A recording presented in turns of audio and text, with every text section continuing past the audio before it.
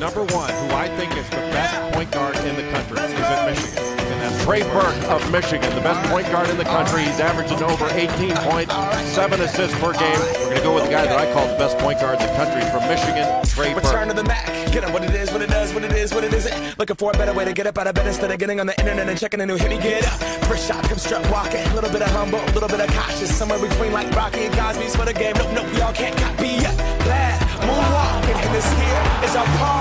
My posse's been on Broadway.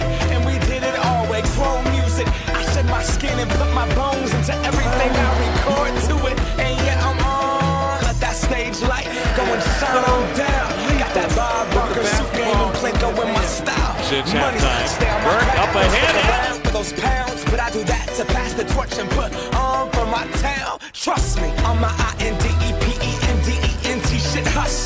Chasing dreams since I was 14 with the four track busting.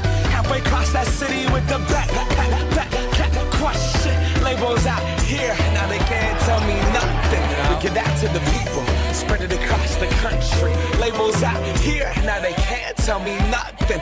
We give it to the people, spread it across the country. Here we go back. This is the moment.